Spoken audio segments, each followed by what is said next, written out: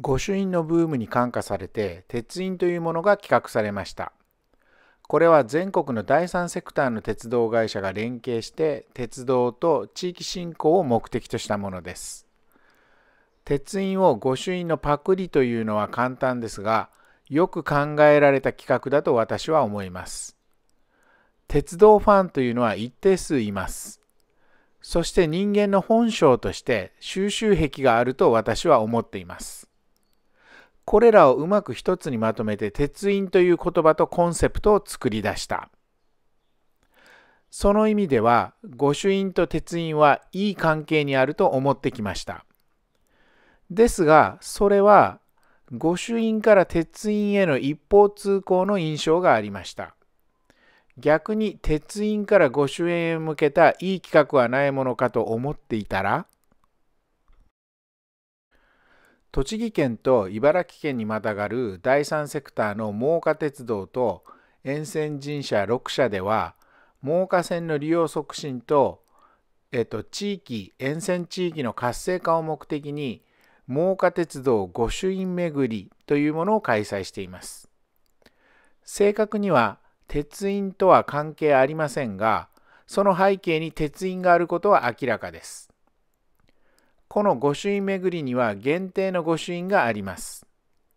各神社の御朱印の下には、真岡鉄道の SL 真岡の客車をモチーフとした印が押されています。全部つなげると走行する SL をイメージしたデザインになる。これはすごくいい企画だと思いました。個人的に真岡鉄道を応援していることもあって、これはぜひ参加すべきだろうとなりました。まずは茂木駅から近い八雲神社に参拝しました。そこで限定の御朱印をいただいたのですが、そこでこんなことを教えてもらいました。真岡鉄道が扱う私鉄車の蒸気機関車の向きには左右あって、それぞれで上下線の列車編成が作れます。まあ、なんてことでしょう。こんなところまで考えられていたとは。この企画を考えた人は天才だと思いました。列車の編成を考えて御朱印帳に御朱印を貼っていきますが、私は前後を機関車で、蒸気機関車で挟むことにしました。七井駅では亀岡八幡宮、益子駅では鹿島神社、北真岡駅では大崎神社、久下田駅では千代ヶ丘八幡宮、そして下館駅では羽黒神社に参拝しました。最後に真岡駅へとやってきました。真岡駅の西口には宇都宮餃子みんみんがあります。お昼はみんみんの焼き餃子、水餃子、揚げ餃子でお腹を満たしました。お昼を済ませて主鉄車を参拝しました。そして真岡駅の窓口では蒸気機関車には左向きと右向きとありますがどちらになされますか？と聞かれました。何の前知識もなくこの問いを受ければ最初はその意味がわからないと思います。当然そこでは自信たっぷりに左右1枚ずつくださいと答えます。これで客車を蒸気機関車で挟んだ編成の出来上がりです。まあ自己満足に過ぎませんが、この満足感は非常に大切だと思います。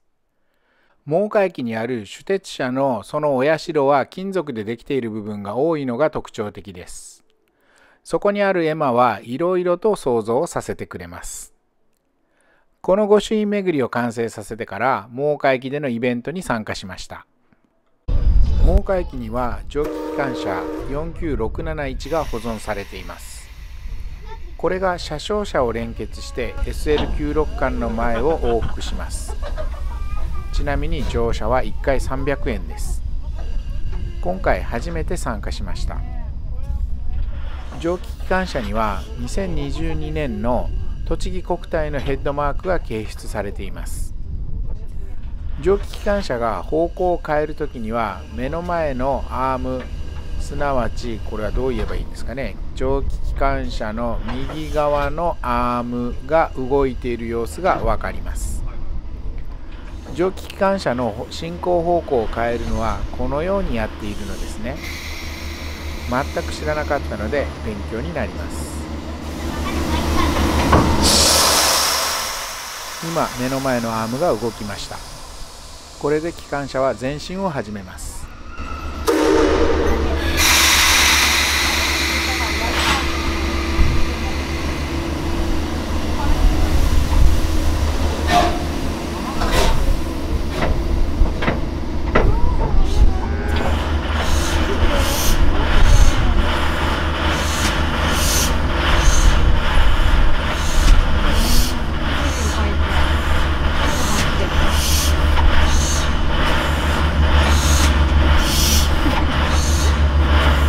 今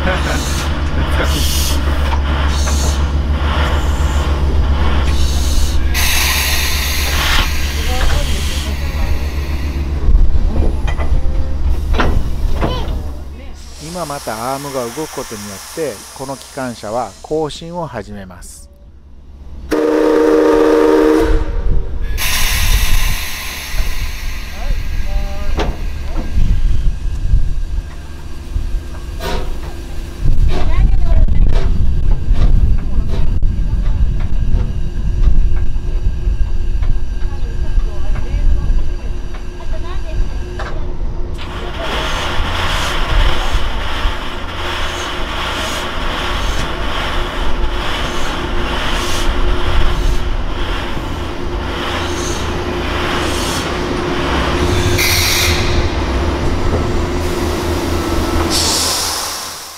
今アームが動きましたので蒸気機関車は前進を始めます。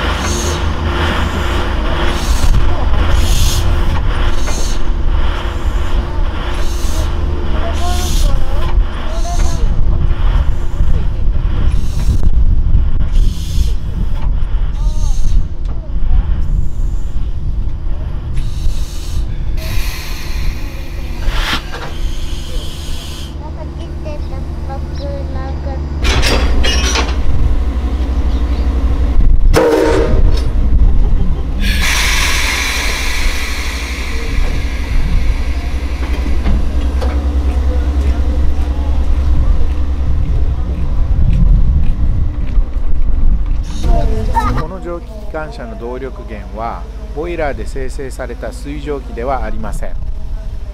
コンプレッサーで圧縮された圧縮空気の圧力で動いています。ボイラーの火を落とせば水蒸気圧は自然と下がるのでしょうがここでは空気を抜くことによって空気圧を落とすようです。音がすごいので耳を塞ぐように言っています。最初の音で大したことないなと思っちゃダメよと言われます。エアを抜く音は途中からさらに大きくなるようです。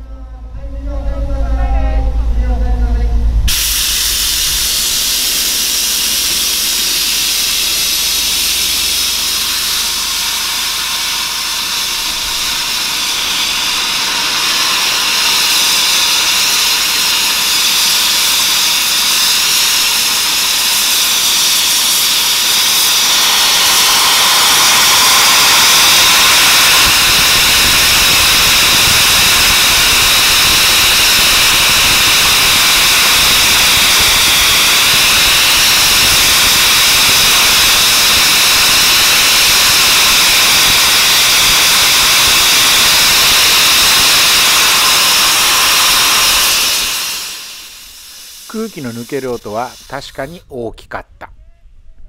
映像では分かりませんが音が一段と高くなった時にはソニックブームのような音を聞いた気がします。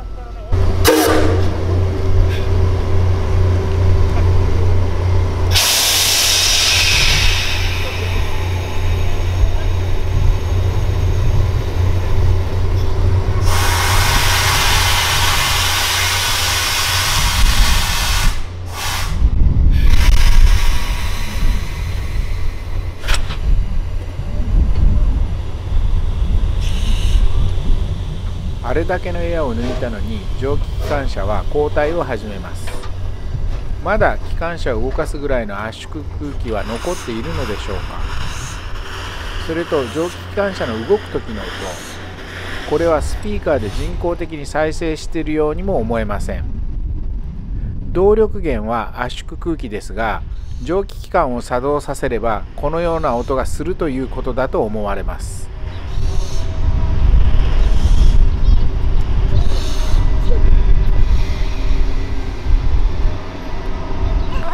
この日はエッセルモーカが運行されていました。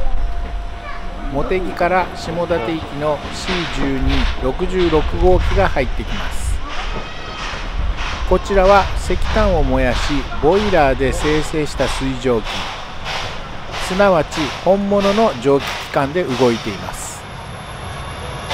蒸気機関車の運行を維持管理するコストや手間を考えればノスタルジックな鑑賞に浸っていいわけはないのですがやはり本物の蒸気機関車の音煙蒸気どれをとってもやはりかっこいい。